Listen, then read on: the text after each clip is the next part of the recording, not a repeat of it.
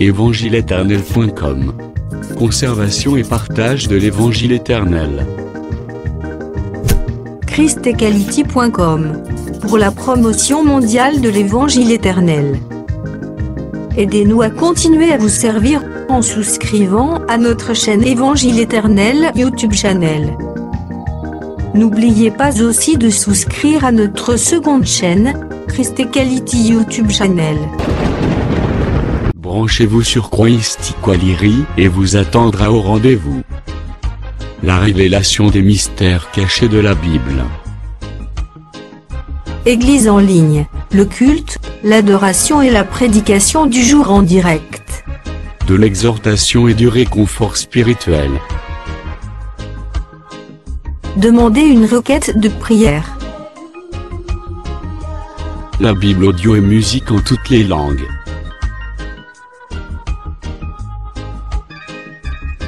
La compréhension biblique de l'actualité, des prophéties et des signes de temps. La démystification des fausses églises et doctrines.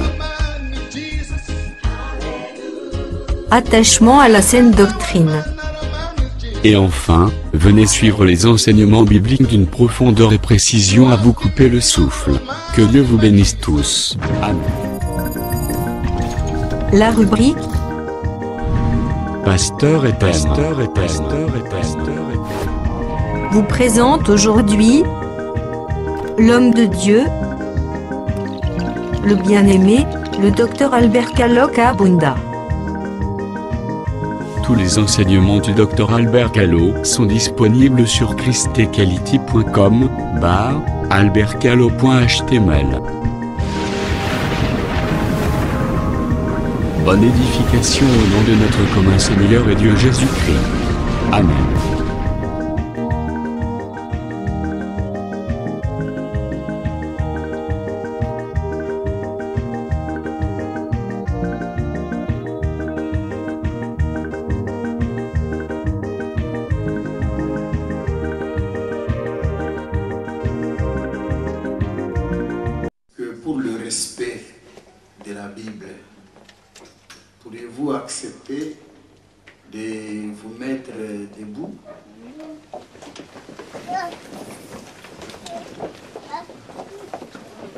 Je vais demander à mes frères et sœurs, de prendre tous les versets que je donne. Le fait d'être devant vous ne veut pas dire que je connais plus que vous tous. Mais au moins, vous allez bénéficier aussi de la grâce de quelqu'un d'autre. Amen. Alors, prenez tout ce que je vais donner comme des versets notés. Et quand vous allez chez vous à la maison, ou pendant que je suis en train de parler à la fin, si vous avez la question, nous sommes une assemblée qui donne des questions et capable de répondre à toutes les questions toujours par la grâce du Seigneur. Amen. Alors, nous allons lire d'abord Lévitique. Pour ne pas vous prendre beaucoup de temps, allez lire Lévitique chapitre 16. À la maison, allez lire tout le chapitre 16 pour comprendre ce que je vais dire tout de suite là. Mais ici, j'ai besoin de deux versets, même trois. Le verset 10 d'abord. Et les boucs sur lesquels est tombé le sort pour Azazel. Je veux que chacun de nous ait la meilleure compréhension. Alors, reprenons à partir du verset 8. Même 7. 7 c'est mieux. Il, c'est Aaron, le sacrificateur. Il prendra les deux boucs. Il prendra les deux boucs et il placera devant l'Éternel à l'entrée de la tente d'assignation. Pardon? Nous sommes au Lévitique chapitre 16, verset 7. J'ai demandé à la maison, si Dieu vous fait grâce, allez lire tous les chapitres. Mais ici, nous allons prendre que le verset 7. Je commence à partir du verset 7.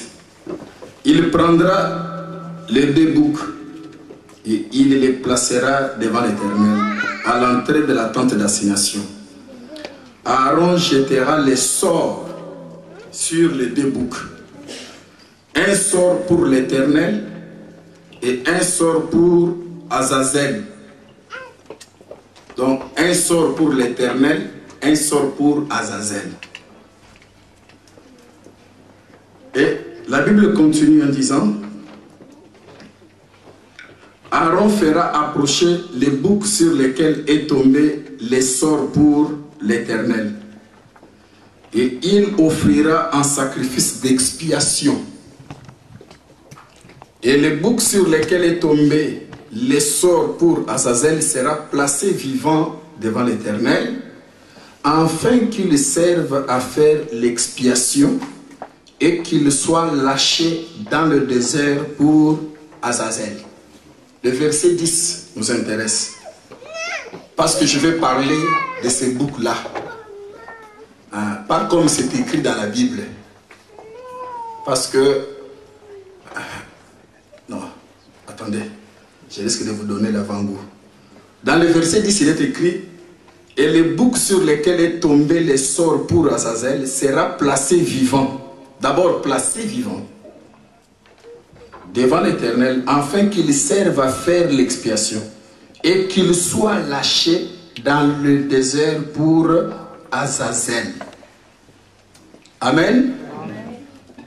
Je vais vous demander euh, de prier d'abord. J'espère qu'il faut que, il ne faut pas que l'homme nous parle. Amen.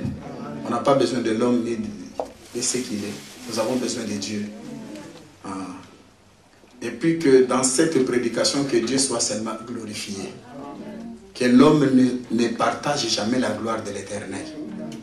Alors, fermons nos yeux. Je demande à chacun de prier. Prions tous au nom de Jésus. Le temps est arrivé, oh Dieu, où le peuple a besoin d'être enseigné par toi parce que c'est la promesse du temps de la fin.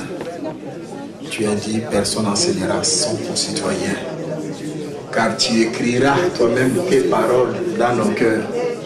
C'est l'alliance nouvelle. Donc, l'alliance nouvelle, ta parole est écrite à nous. Le ministre fait que rappeler. C'est pourquoi nous ne voulons pas que la chair intervienne, car la Bible déclare Heureux celui qui donne la nourriture au temps convenable. Seigneur, nous condamnons l'œuvre de la chair au milieu de nous. Et nous disons au nom de Jésus-Christ que ton règne soit dans cette prédication. Merci notre Père, dans le nom de Jésus-Christ. Amen. Amen. J'ai appris quelque chose dans ma vie, c'est une expérience. Peut-être ça pourra vous intéresser. Quand j'entre dans une assemblée, que je sois pasteur, que je sois docteur, que je sois prophète, que je sois bishop, que je sois archibishop, tel que vous, nous, nous apprenons sont partout. Des archibishops, que je sois si c'est cardinal ou quoi que ce soit. Mais quand j'entre dans une assemblée, la première des choses que je fais moi, vous savez c'est quoi? J'oublie d'abord ce que je suis. Mais d'abord, ces titres de côté. C'est comme ça que Dieu pourra t'enseigner. Par exemple, vous savez, tu peux être là parce que tu es un pasteur. D'abord, nous avons appris dans cet évangile à respecter tous les hommes de Dieu. Si tu vois quelqu'un qui se dit qu'il a l'évangile éternel et il ne respecte pas d'autres serviteurs de Dieu, ce n'est pas un homme de Dieu. Et il n'est même pas dans l'évangile éternel. L'évangile éternel, ce n'est pas de l'impolitesse. Hein? Il y a des gens qui pensent que l'évangile éternel, c'est être impoli. Non. L'évangile, c'est respecter d'abord d'autres hommes de Dieu et respecter même d'autres assemblées. Est-ce qu'il faut comprendre ça? Même d'autres assemblées. C'est ça l'évangile. Alors je disais, je mets d'abord de côté tout ce que je connais quand j'arrive dans une église. J'oublie d'abord que je suis pasteur. J'oublie que je suis un prophète. je mets ça d'abord de côté. Et je prends d'abord le temps d'écouter l'orateur. Pourquoi ça? Ça nous arrivait quand on va dans une assemblée, je garde le titre que j'ai. Quand je suis assis, le pasteur est en train de prêcher, il donne, il donne le verset. Par exemple, nous allons lire Jean chapitre 3, verset 16. Vous savez, moi j'avais déjà le verset avec moi. Oh, je sais. Car Dieu a donné, car Dieu a aimé le monde qu'il a donné son Fils unique afin quiconque croit, quiconque croit en lui ne périsse pas mais qu'il ait la vie éternelle. Tellement que je répétais ces versets, il y avait, il y avait une barrière, que j'avais une barrière que je ne pouvais pas suivre maintenant l'orateur. Amen. Donc vous êtes, vous êtes toujours pasteur, pas où vous êtes.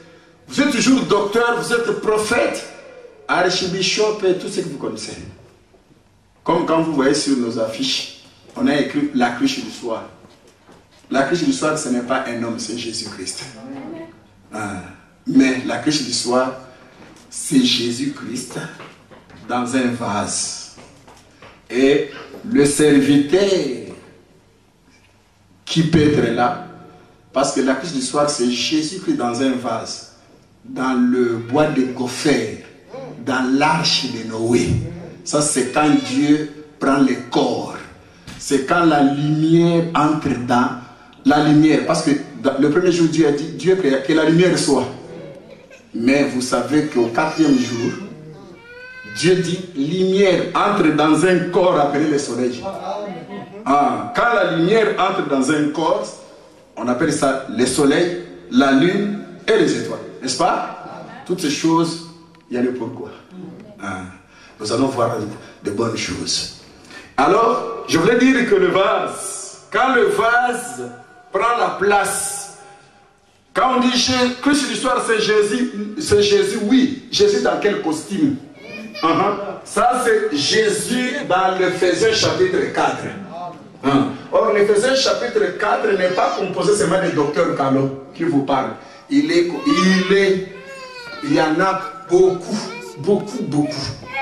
Mais c'était pour dire seulement que cet, cet après-midi, la cruche du soir vous parlera à travers le docteur Calo. Tout comme demain, il peut vous parler, la cruche du soir vous parlera à travers le pasteur Christian. Donc, mais il ne faut pas confondre les choses. C'est le docteur là qui est cruche du soir, c'est diabolique.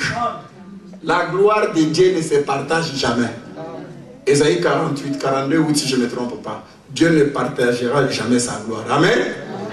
Alors aujourd'hui, nous voulons seulement dire aux gens que même l'orateur, même quand je vous parle, quand je finis, je reste un être humain. Je suis rien. C'est Dieu qui est quelque chose. C'est Jésus que c'est pourquoi nous allons dire Amen pendant que la parole est prêchée, parce qu'elle n'appartient pas à celui qui prêche. Elle appartient à celui qui est la cruche du soir, du soir. D'accord? Ça a bien passé dans nos têtes. Voilà. Nous venons de lire une écriture. Mais ce n'est pas avec cette écriture-là que nous allons parler, nous allons débuter. Mais nous allons commencer à partir de Genèse, lors de la création. Je vais parler lentement, avec des précisions. Quand vous sortez, vous êtes capable de répéter ce que nous avons enseigné à tout celui que vous allez croiser. Ce n'est pas une prédication, quand on donne la prédication, les gens sortent, qu'est-ce qu'on a demandé? Non, il a dit seulement que celui qui donnait les communiqués, ça ne doit pas être le pasteur, ça ne doit pas être le chanteur, c'est le pasteur. Non, c'est pas ça. Remarquez ce qui s'est passé le premier jour deuxième jour, troisième jour, quatrième, cinquième et sixième. Ça, c'est l'ordre de la création. Dans Genèse chapitre 1, là vous notez, la Bible déclare que Dieu a créé le premier jour. Il a créé le chaque fois que Dieu créait, à la fin, il ajoutait ceci est bon. Donc après sa création, lui-même apprécié. Donc quand Dieu fait pour toi quelque chose, même si tu ne le vois pas, dis-toi dans ta tête que il a apprécié ce qu'il a fait pour moi. C'est pourquoi, même si toi tu ne vas pas rendre grâce à ces dieux-là, il s'en fout. Lui-même rend grâce en disant ce que j'ai fait pour cette personne, c'est une bonne chose. Vous comprenez ça? Maintenant, cette Bible, elle est écrite. Mais des fois, je me pose la question, si la Bible est écrite, si c'est que ce qu'on a toujours entendu, ou ce qu'on entend, ou ce que je sais, c'est ça la parole de Dieu. À quoi sert-il bon que Dieu place encore certaines personnes, soi-disant qu'ils sont envoyés, mandatés pour expliquer la parole de Dieu? C'est avant, je commence par là. En lisant ma Bible, Jésus dit aux pharisiens, vous lisez les Écritures, vous sonnez les Écritures. Vous espérez qu'en elle il y a la vie. Mais vous ne voulez pas venir à moi. Ça veut dire quoi? Un homme peut aimer les Écritures. Voici les Écritures. Un homme peut aimer les Écritures. Et fonder même son espoir dans ses Écritures. Et lire même ces Écritures tous les jours. En espérant que dans ces Écritures, il y a la vie. Mais ça me surprend quand Dieu va dire, vous sondez les Écritures, vous pensez qu'en elles il y a la vie. En réalité, les Écritures deviennent un assassin pour certaines personnes. Il y a ceux qui disent, mais qu'est-ce que veut dire par là? Mais on dit que ce sont ces Écritures qui vous tuent. Nous savons que celui qui tue, c'est un meurtrier. C'est un brigand. Un meurtrier, c'est un brigand. C'est celui qui tue. Maintenant, quand on nous dit les écritures tuent, alors les écritures deviennent les brigands, l'assassin. Ça veut dire que ces écritures peuvent tuer toute personne qui en a sans saisir le pourquoi de ces écritures. Et je suis allé plus loin dans mes recherches pour comprendre aussi quelque chose. C'est quoi? Je suis allé comprendre aussi que la parole de Dieu, ce n'est pas les écritures que nous lisons ici. Donc, la parole de Dieu est différente des écritures. Tout le monde peut avoir les écritures. Répétez même ces écritures-là. Pensez même que en lisant les écritures, c'est-à-dire j'ai la parole de Dieu. Parce quand on a la parole de Dieu, on a la vie. hein. Il faut que Dieu nous fasse grâce, qu'on arrive à faire la différence entre l'écriture et la parole de Dieu. Ça vous arrive? Amen. Suivez-moi, écoutez la parole. Donc, les écritures ne donnent pas la vie car les écritures tuent. C'est pourquoi, mes bien-aimés frères, que dit la Bible? La Bible dit que la révélation dans Isaïe 29 que j'aime lire. Je lis seul, mais vous, vous gardez le passage. Parce que quand nous allons toucher les boucs, ça ne va pas nous prendre du temps. Mais je te prépare déjà. Quand tu suis notre enseignement, l'enseignement de Jésus, fais attention frère. Écoutez, je disais ceci.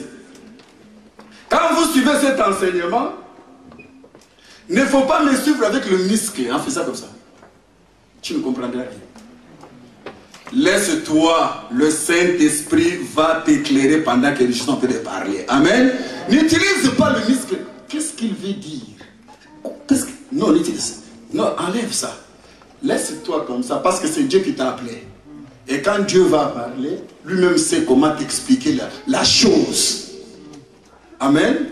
Parce que moi j'appelle ça la chose. Prenons je prends le verset et noté dans chapitre 29, verset 11. Vous allez lire jusqu'au verset 14 à la maison. Mais si j'ai besoin d'un verset pour faire asseoir le bouc que je vais vous parler. Je prends le verset 11. Toute la révélation est pour vous comme les mots d'un livre cacheté que l'on donne à un homme qui sait lire en disant, lis donc cela. Et qui répond, je ne le puis, car il est caché. 12. Comme, ou, comme un livre que l'on donne à un homme qui ne sait pas lire en disant, lis donc cela, et qui répond, je ne sais pas lire.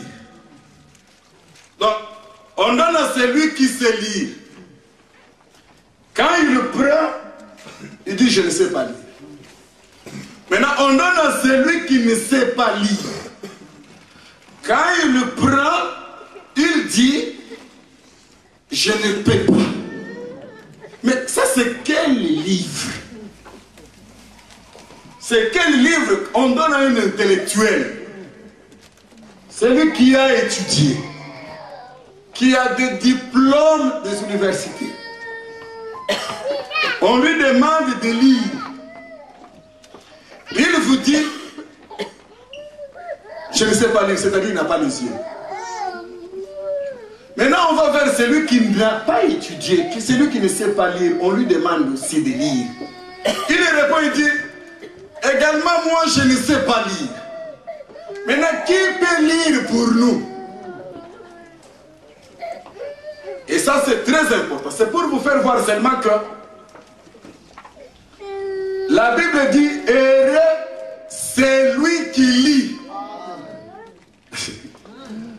Dans l'Apocalypse, on dit heureux, c'est lui qui lit. Il n'est pas donné à tout le monde de lire. Les gens lisent. Mais la lecture qu'ils font, c'est de l'intellect. C'est de l'intello là. Mais, il y a peut-être, vous savez, quand je parle avec vous, j'aime toujours donner les versets aussi pour confirmer ce que j'ai dit. Il y a ce verset-là existe. Heureux celui qui lit. C'est lui. C'est lui-là qui lit. Pourquoi on peut dire heureux celui qui lit? Vous savez, quand vous êtes là, vous risquez de dire oh, je viens de lire des Genèse Apocalypse Oh, alors je suis heureux. Il est écrit, heureux celui qui lit. Ce n'est pas celui-là qu'on parle. Parce que quand vous entrez dans l'Apocalypse, c'est un livre cacheté. Vous devez savoir qui peut lire. La lecture, c'est quoi? Donc, il y a la lecture selon le français ou selon les langues des hommes. Hein? et la lecture selon la langue des anges.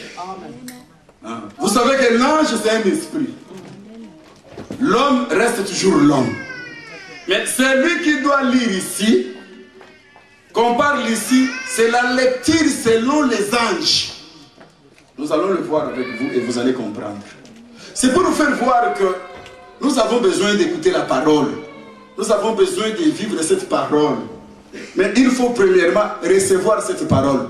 Vous savez qu'en France, les gens ont besoin de la parole. Mais des fois, ils ne trouvent pas la parole.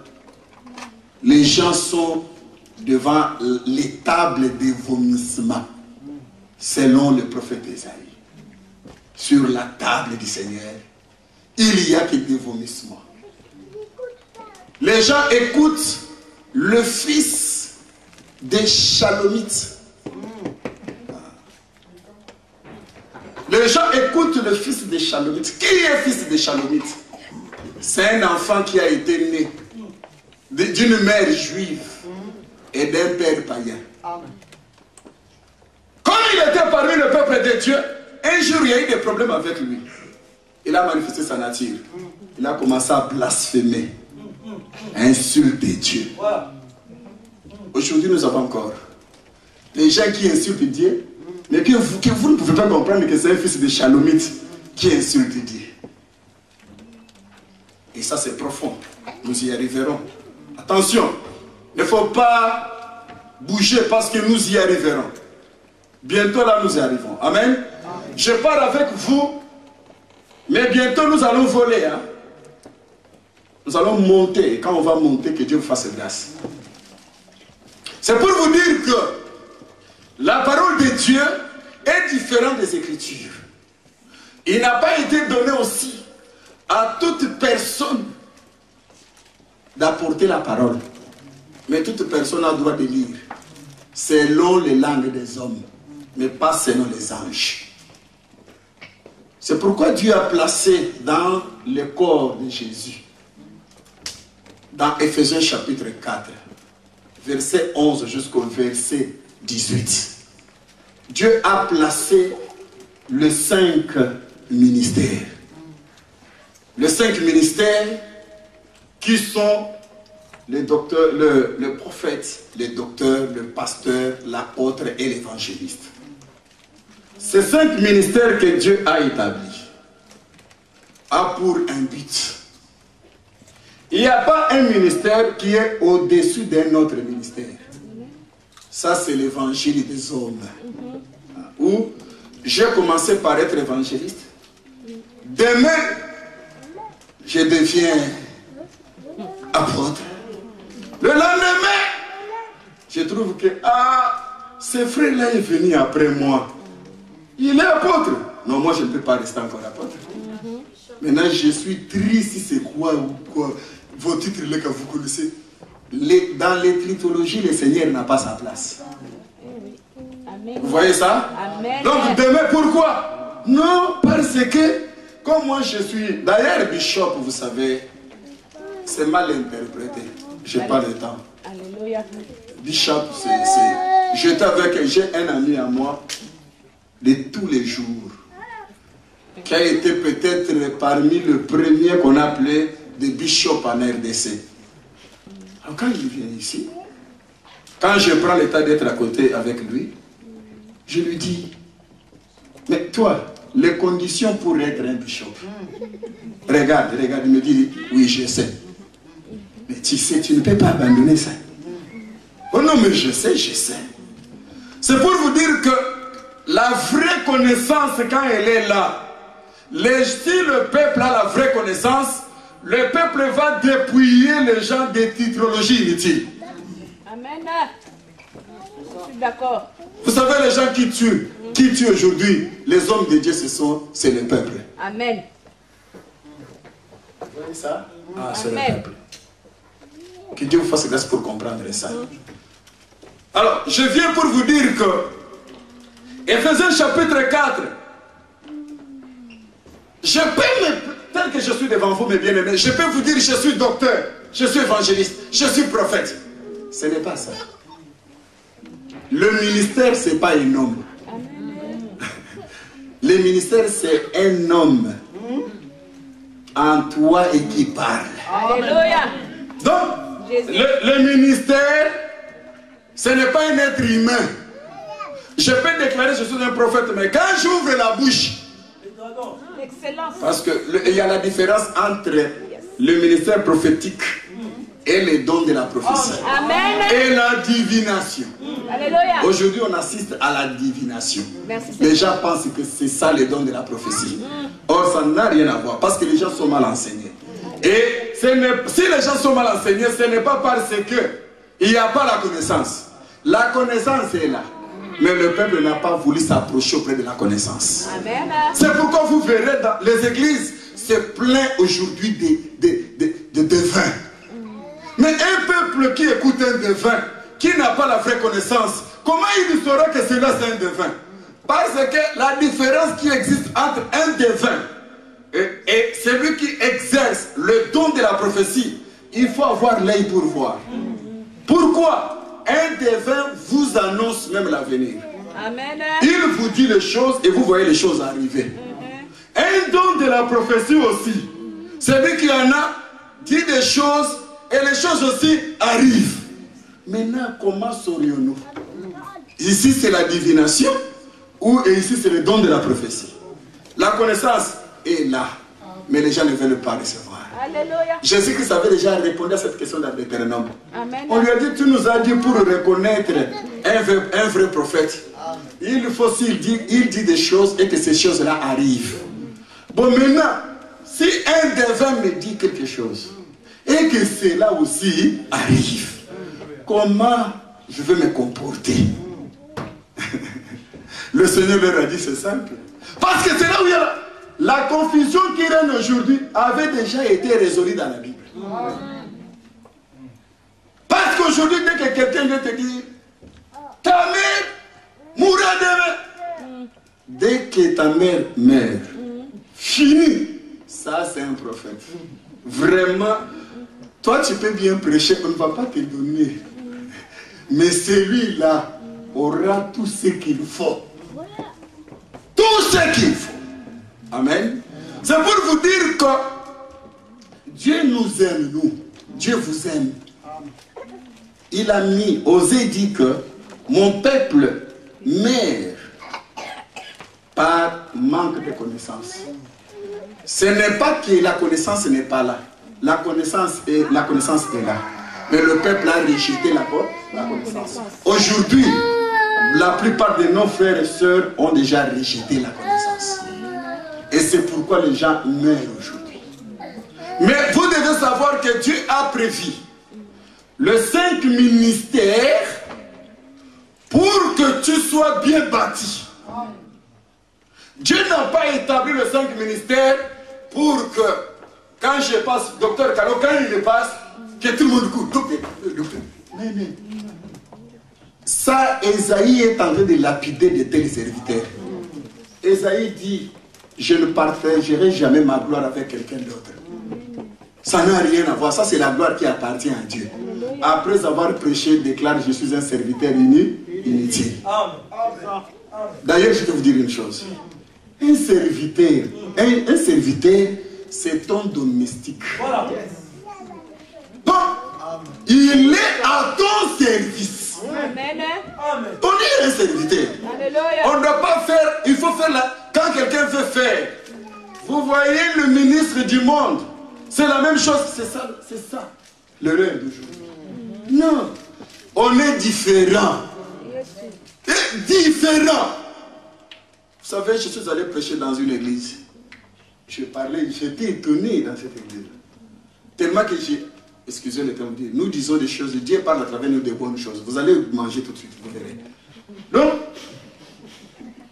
j'ai vu les gens venir, ah, essuyer les chaussures, mettre des parfums. Je dis, mais ça c'est quelle pratique? Oh non, quand Jésus est entré à Jérusalem, j'ai dit, mais qui était entré à Jérusalem? Jésus. Si c'est moi. Comment? Vous voulez me dire que c'est ça les chaussures de Jésus? Non. Non. Je, je lui ai dit, ça c'est mes chaussures à moi. Ce n'est pas les chaussures de Jésus. Vous comprenez ça? Mais, écoutez, le cinq ministère ne tolère pas une fausse connaissance. Le cinq ministère ne tolère pas l'ignorance dans l'église. Le cinq ministère ne tolère pas l'ignorance dans un frère, dans une sœur ou dans une église. Le, parce que le cinq ministère, l'évangéliste n'est pas moins. C'est la fausse connaissance qu'on donne aux gens. Euh, tu- frère, tu vas commencer par évangéliste. On va, on verra comment tu pourras devenir un jour apôtre ou quoi.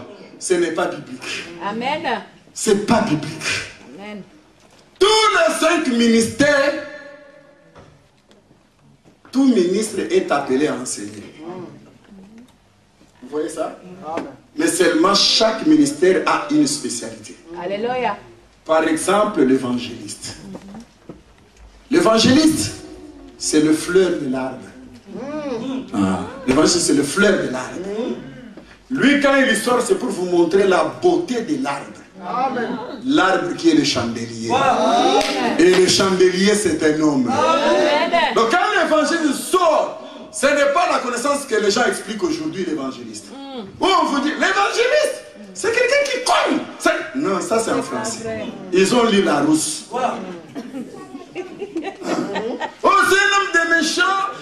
L'évangéliste, lui, c'est quelqu'un qui ne tolère pas. Non. L'évangéliste a un seul message, le message de l'amour. Amen. Il enseigne, il te montre la beauté de Jésus. Alléluia. La beauté de ce que cet homme a fait. Et il veut te dire, il y a l'arbre là-bas. Quand vous allez là-bas, vous allez croiser maintenant quelqu'un d'autre qui a une autre spécialité. L'aposto- L'apôtre. Je ne veux pas m'étaler sur cinq ministères parce qu'on risque, vous savez, on doit gagner le temps. On risque de s'éterniser ici. Mais une église telle que vous êtes, vous devez écouter les cinq ministères. Un frère, une sœur qui n'écoute, qui n'a pas écouté les cinq ministères, tu seras seulement membre de l'église, membre du pasteur, mais tu ne seras pas membre de Jésus. Amen. Pourquoi? Parce que les cinq ministères apportent la vie, bénédiction, détachent l'homme de la fausse connaissance. Amen. C'est pourquoi vous verrez qu'aujourd'hui, il y a les réseaux qui se créent même dans nos églises. Ah, ça. On ne peut pas recevoir tel. On ne peut pas le recevoir. On ne peut pas le recevoir. C'est le peuple qui ne sera pas béni.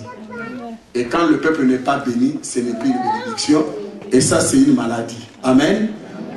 Maintenant, pourquoi je, je suis allé vers les cinq ministères? C'était pour vous dire que les cinq ministères apportent la connaissance. Pourquoi la connaissance? Il y a la différence entre la connaissance et aligner beaucoup de versets de la Bible. Et non pas aligner mille versets. Ce n'est pas de cette connaissance-là que je parle. Ça, c'est être un Apollos. La Bible dit Apollos est un homme versé dans les Écritures. Quand tu demandes, oh, les versets que tu cherches là, Luc 1, 8. Ce n'est pas cette connaissance-là que Dieu parle. Ce n'est pas ça. Mais Dieu a fait une promesse à son peuple. Amen. Nous sommes le peuple de Dieu. Dieu a fait une, a fait une promesse. Cette promesse est en Daniel chapitre 12 qui nous introduit dans le bouc directement. Prenons Daniel chapitre 11, hein, si je ne me trompe pas. Dieu fait une promesse. Daniel chapitre 12, comme j'étais. Daniel chapitre 12, c'est mieux. Verset 9, à la maison, prenons chapitre 12. Le verset 9 jusqu'au verset 12. Mais ici, je vous donne seulement le verset 9 et 10. Suivez mes frères bien-aimés. Il répondit, va Daniel, car ces paroles seront tenues secrètes et seront jusqu'au temps de la fin. Plusieurs seront purifiés, blanchis et épirés. Les méchants les comprendront. Les méchants feront le mal et aucun des méchants ne comprendra. Mais ceux qui auront de l'intelligence comprendront. Vous comprenez? Le méchant ne comprendront point. Mais au verset 3 maintenant, du verset toujours du chapitre 12, il y a quelque chose qui nous intéresse. Au verset 3, ceux qui auront été intelligents brilleront comme la splendeur du ciel. Et ceux qui auront enseigné la justice à la multitude brilleront comme les étoiles, à toujours et à perpétuité. Verset 4. C'est ça la promesse. Toi, Daniel, tu es secrète ces paroles et seul le livre jusqu'au temps de la fin.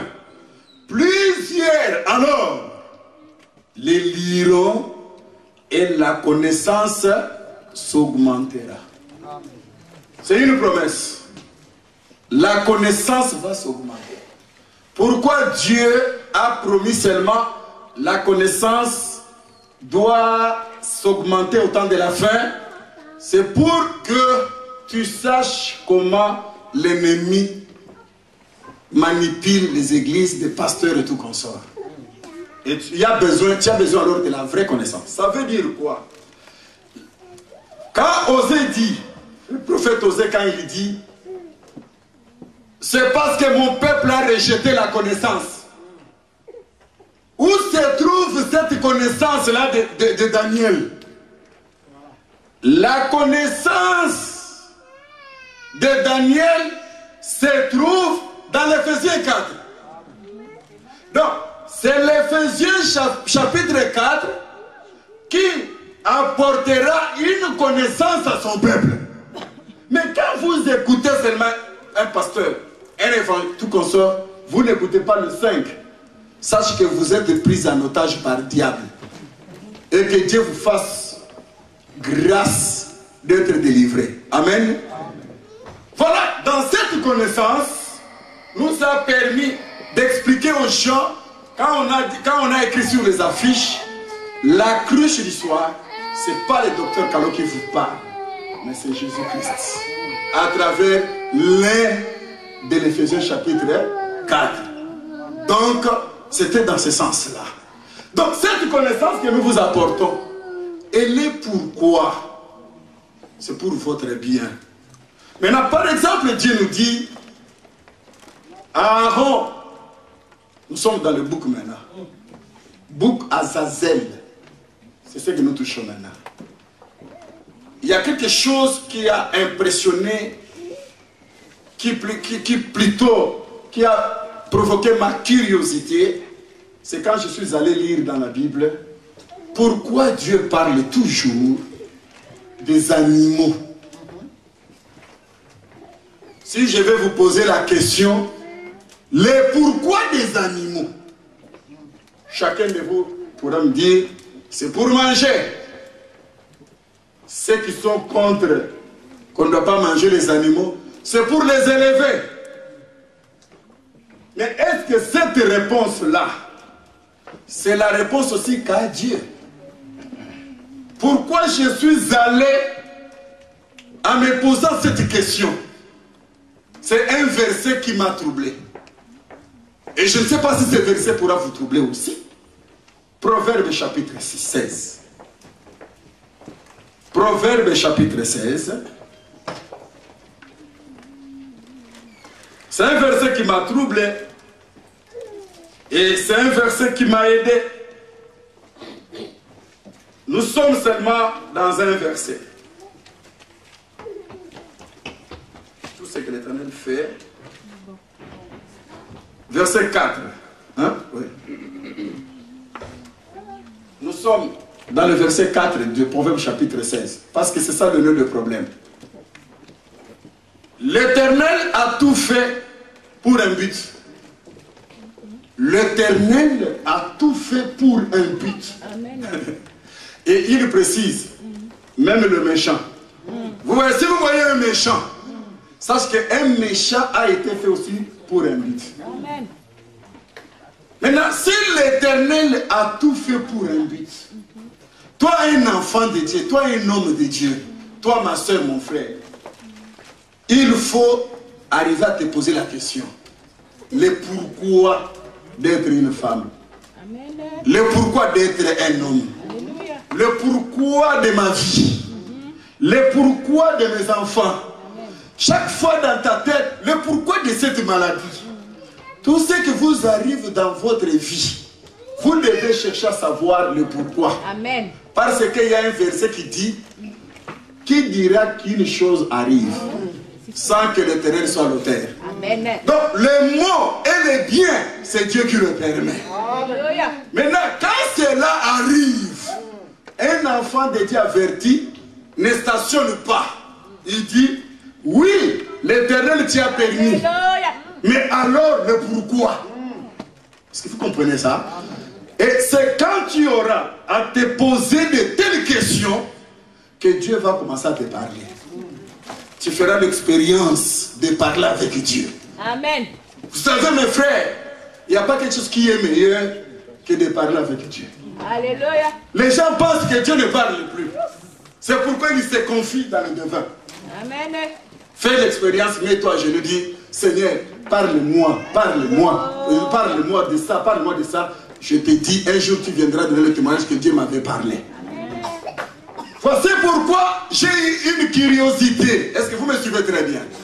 La curiosité était, j'avais beaucoup de choses dans la Bible où je pouvais me demander le pourquoi. Parce que la Bible dit, tout, tout, sans exception.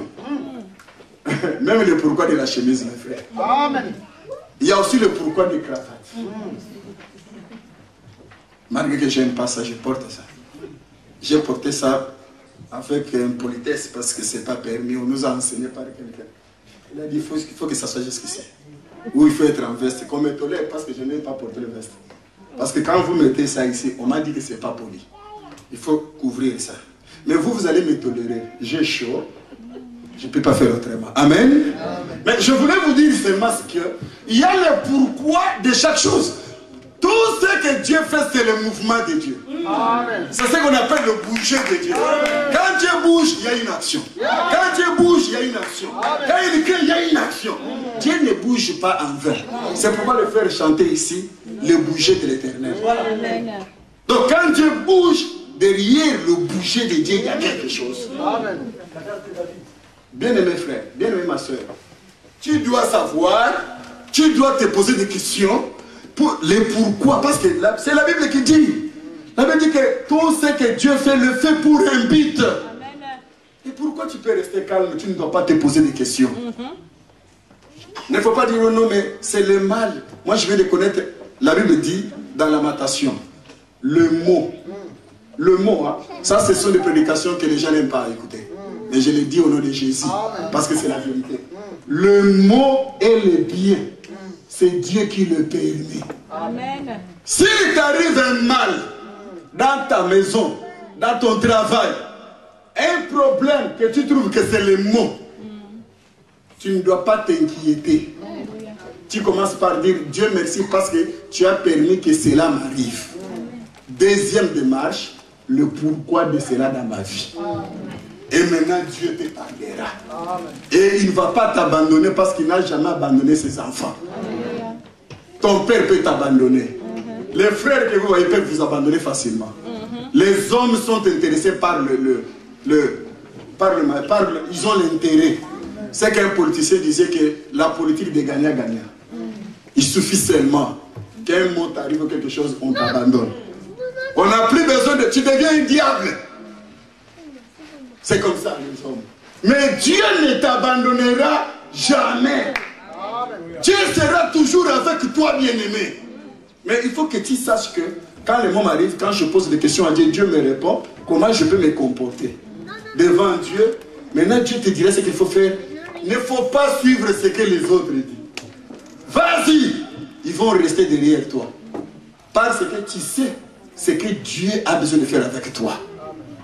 Amen. Voilà pourquoi nous avons ce que nous appelons le pourquoi de toutes les choses.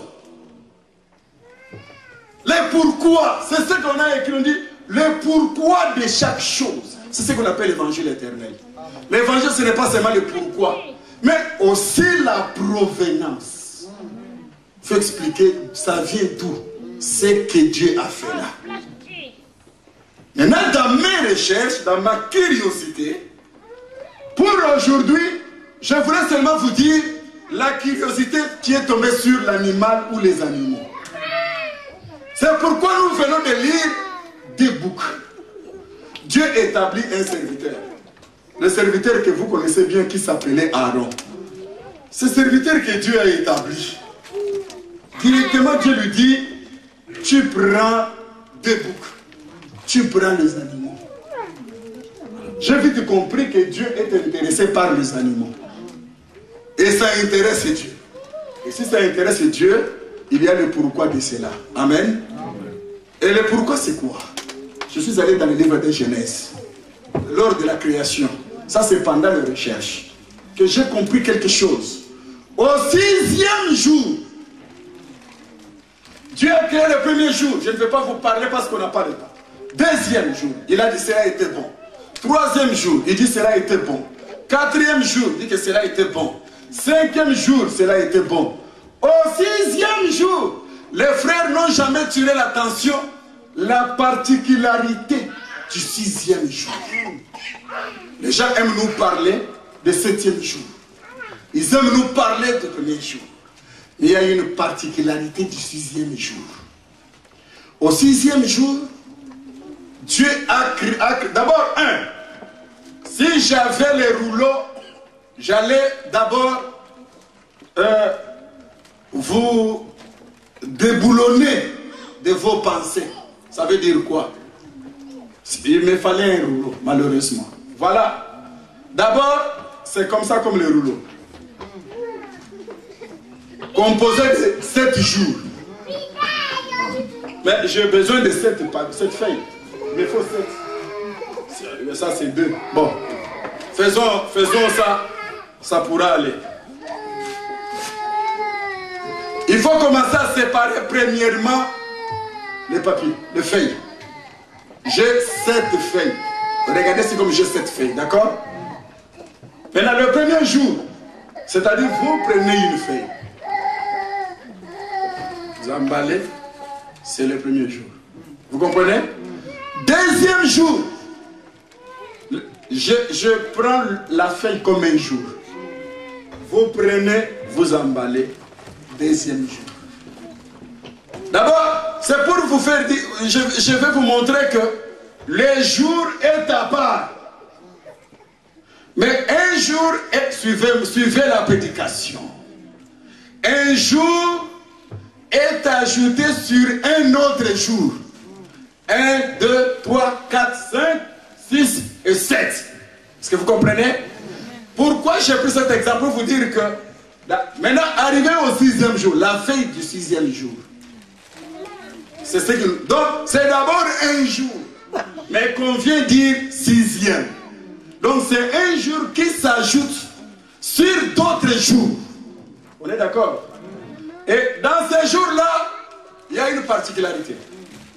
Dieu crée premièrement, dans le même jour, premièrement, Dieu crée les animaux terrestres.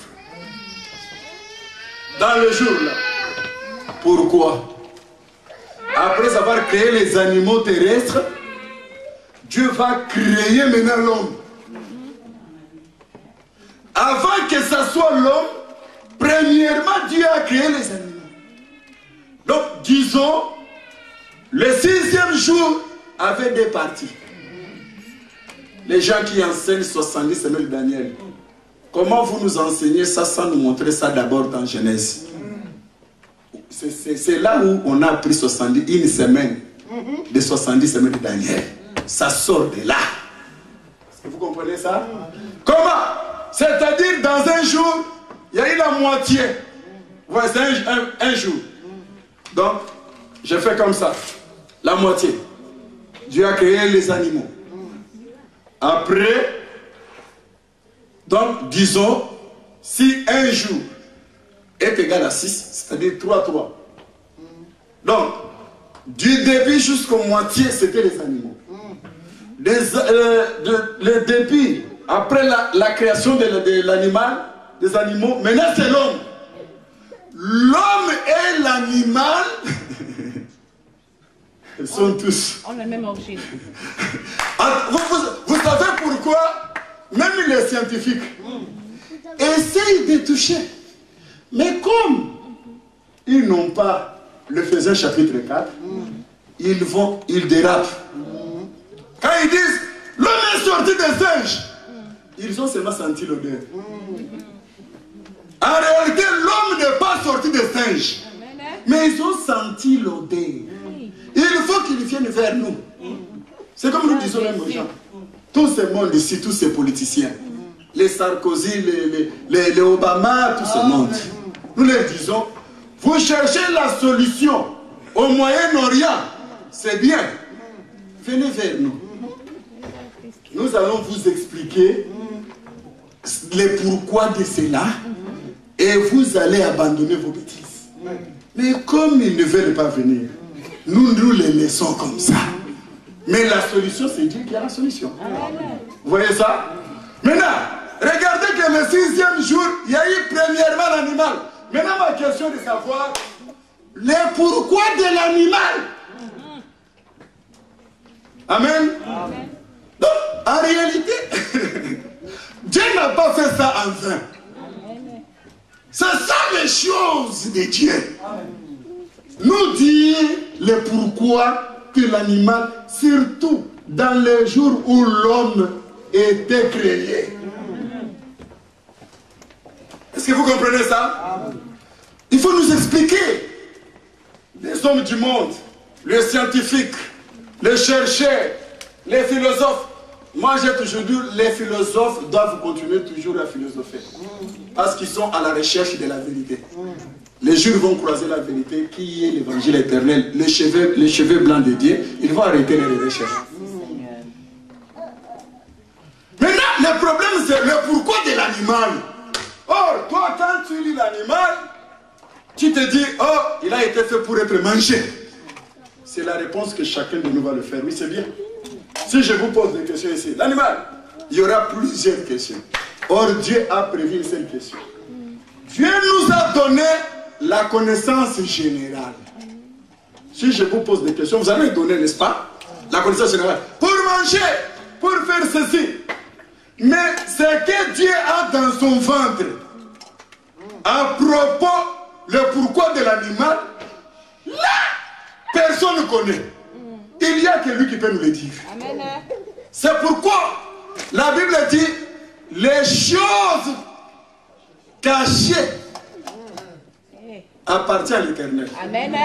Vous voyez? Maintenant, l'évangile éternel doit nous dire les choses cachées qui n'est pas connues de tout le monde. Amen. Parce que vous connaissez la Bible dit que les choses révélées sont à nous. Amen. Voici les choses révélées. La- L'animal est fait pour manger, pour être élevé et pour l'environnement. C'est ça la connaissance que nous tous nous avons. C'est que Dieu nous a révélé. Amen. Maintenant les choses cachées. C'est ça. Dieu nous sait que Dieu a caché dans son ventre. En dehors de la connaissance générale qui est révélée à tout le monde, Dieu a des choses qu'il a cachées pour lui-même. Et ces choses-là, pour en savoir, il faut l'Ephésiens chapitre 4. Et où? C'est là où nous allons. Maintenant, quand dis, ah bon, pourquoi il doit créer l'animal le sixième jour Il y a un but. Je vais commencer la promenade dans l'autoroute de la Bible. Je me suis promené dans l'autoroute de la Bible pour connaître tous les panneaux de la Bible. Les chauffeurs connaissent ce qu'ils ont besoin. Dans la Bible, il y a des panneaux. Je suis allé pour mener chercher les panneaux. Parce que les panneaux pourront me guider à aller là où je vais aller. Voilà comment on est parti, mes frères. Arrivé là-bas, pour la deuxième fois, curiosité, quand Dieu voulait détruire cette terre, ça me surprend. Il dit à Noé, Noé, je vais détruire la terre. Mais toi, tu as trouvé grâce à mes yeux. Que Dieu vous bénisse. Quand vous trouvez grâce aux yeux de l'éternel, que Dieu vous bénisse, mes frères. Il n'y a pas quelque chose qui est plus puissant que la grâce de Dieu. Alléluia. Sans la grâce de Dieu, on ne peut pas vivre. Amen. Vous voyez ça? Mais vous savez ce qui s'est passé? Dieu dit à Noé, parce que je ne veux pas m'éterniser. Il y a de profondeur et de profondeur. Et lire, il faut lire parce que je n'ai pas le temps de vous lire.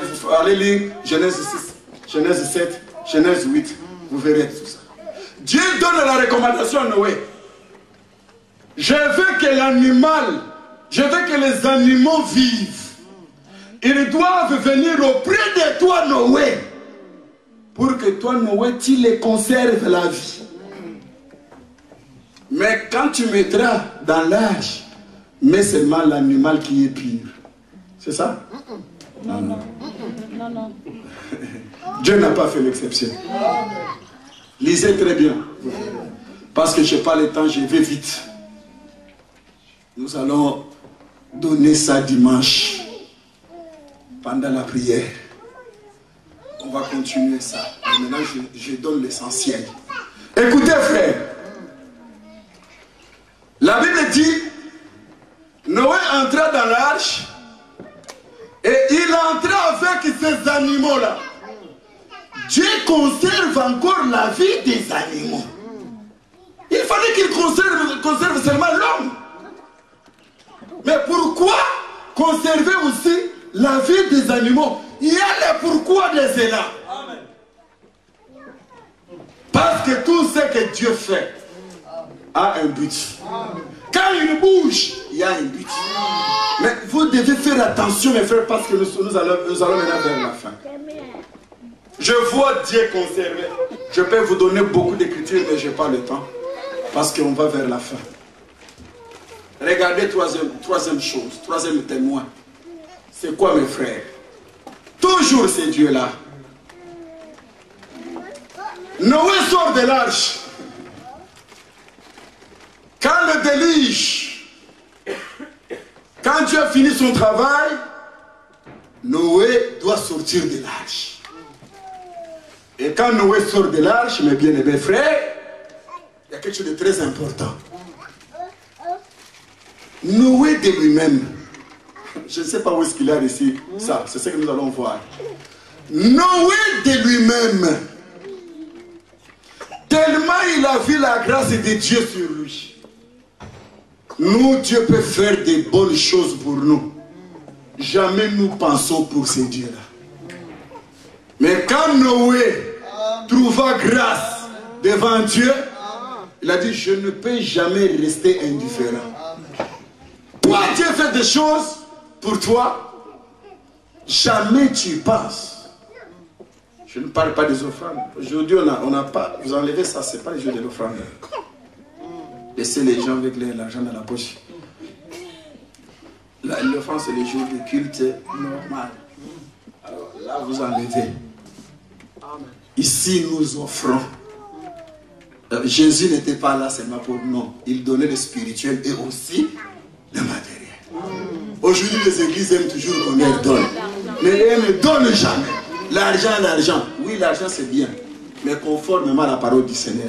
Que Dieu te bénisse, frère. Si quelqu'un avait déjà mis là-dedans, ça reste pour le Seigneur. Alors, on- on- la Bible déclare ceci. La Bible dit Noé sortait de l'arche. Frère, tu dois apprendre, ma soeur, tu dois apprendre à reconnaître quand Dieu fait quelque chose. Après ce que Dieu avait fait pour toi, qu'est-ce que toi tu avais fait? Après, tu commences encore à demander. Ce qu'il avait fait, tu es resté indifférent. Après, Seigneur, encore, encore, non, frère.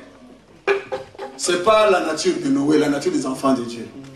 Quand Dieu fait quelque chose, prouve à ces dieux-là que je suis reconnaissant de ce que tu as fait. Regarde l'offrande que je t'offre. Vous voyez ça? Quand Dieu fera toujours et quand il le fait. Regarde ce qui s'est passé. Noé sort de l'arche. À ma grande surprise, Noé n'a pas pris l'arbre, n'a pas pris autre chose. Il prend seulement l'animal. Encore, mes frères, que Dieu vous. Noé prend l'animal. Il va égorger l'animal. Il prend l'animal, il le met sur l'autel. Il brûle l'animal. Noé était sacrificateur. Les gens voient le sacrificateur avec l'arrivée de Moïse. Or, le sacrificateur, c'est même avant même l'arrivée de Moïse, arrivée même de la loi de Moïse.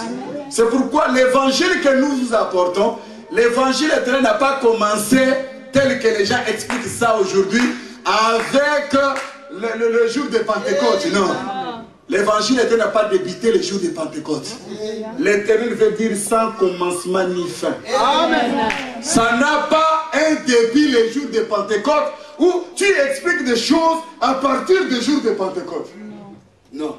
Ça, tu expliques le, le- comment on appelle ça? Verbiage. Prenons ce terme.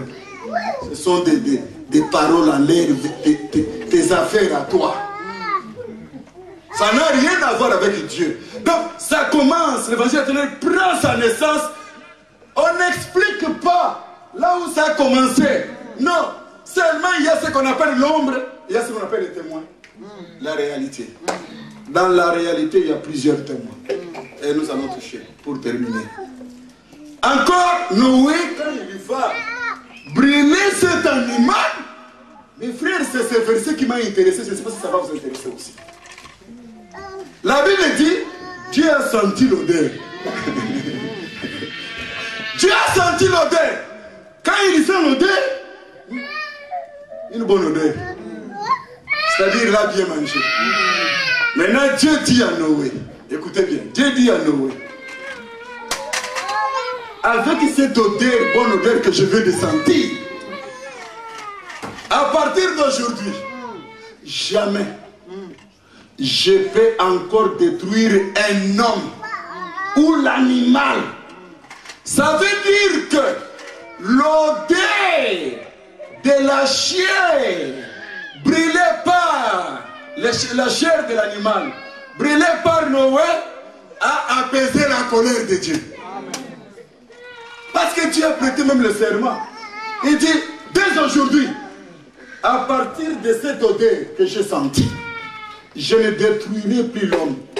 Dieu, Dieu, dit, Dieu ajoute même en disant, mes frères, supportez-moi que je vous donne ces versets, ça sera peut-être deux ou trois avant dernier verset.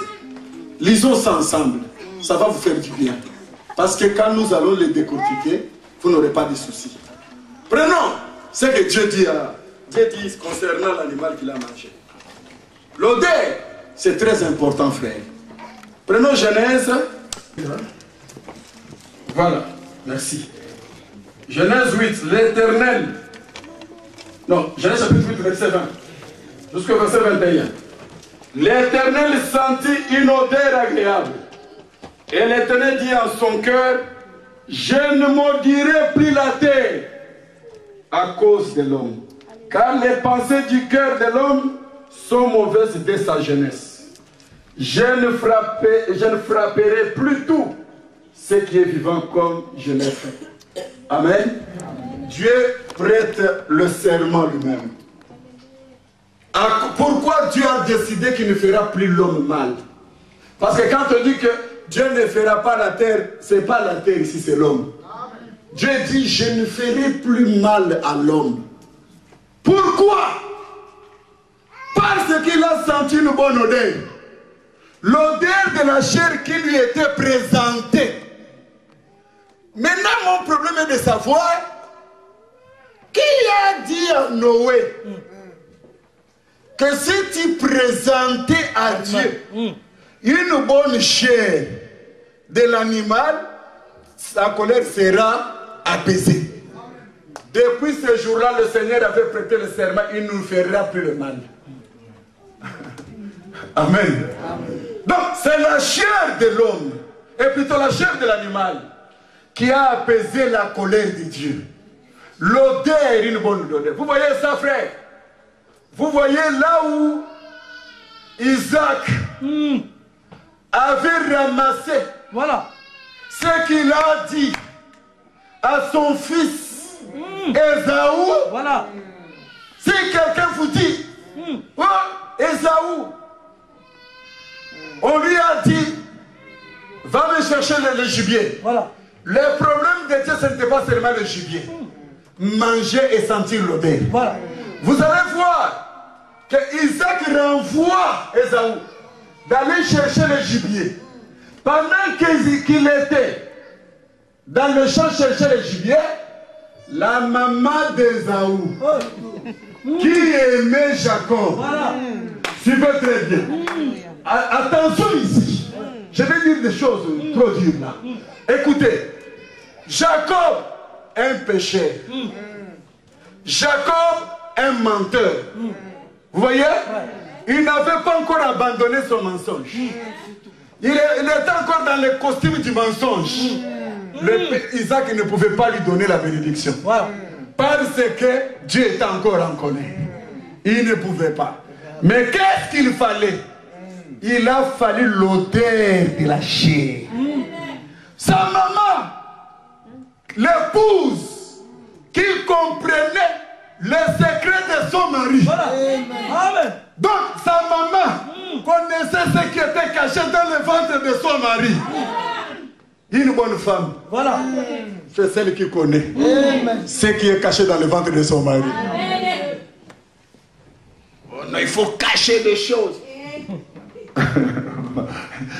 le ventre de l'homme a des choses.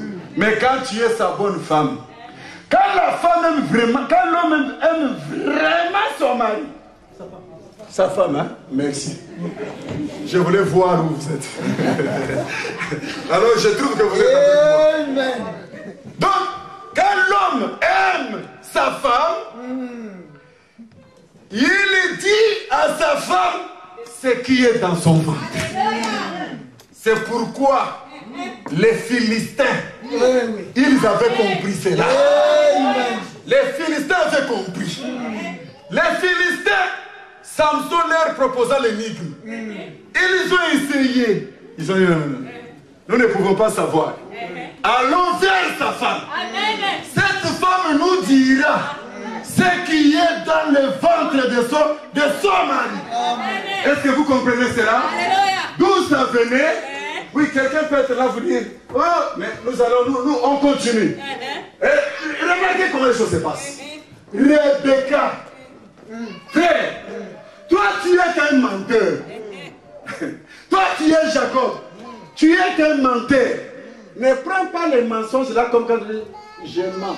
J'ai menti mon frère. Hein, hein. C'est la nature d'Adam et Ève. Alléluia. La nature qu'on a eu d'Adam, c'est les mensonges. Les mensonges, c'est tout ce Quaesti Équilibrer la manne ramassée dans le désert des sortes que chacun un homme, chacun un homme, chacun un homme, chacun homme, chacun. Si vous voulez que l'homme de Dieu prie pour vous, si vous voulez vous confier à l'homme de Dieu, si vous voulez qu'il vous réponde en particulier, ou si vous voulez tout simplement bénir l'homme de Dieu, contactez-le directement si son numéro est disponible sur ce vidéo ou sur le site. Sinon, contactez-nous et nous transmettrons votre préoccupation. Nos contacts sont visibles depuis le site. N'oubliez pas aussi, en tant que chrétien, votre devoir d'évangélisation. Venez évangéliser avec nous en soutenant financièrement cette œuvre évangélique, Christ Equality Fondation. Pour le faire, tapez sur christequality.com slash évangélisation.html. Donnez à Dieu ce qui se trouve dans votre main, et il vous donnera ce qui se trouve dans la sienne. Recherchez-vous les enseignements du Dr Albert Callot? Allez sur christequality.com, barre, albertcallot.html. Les enseignements sont disponibles en texte, audio et vidéo. Pour nous encourager à continuer à vous servir, nous ne vous demandons pas grand-chose, sinon de souscrire à notre première YouTube channel, Évangile éternel. Souscrivez ensuite à notre seconde YouTube channel, Christ Equality.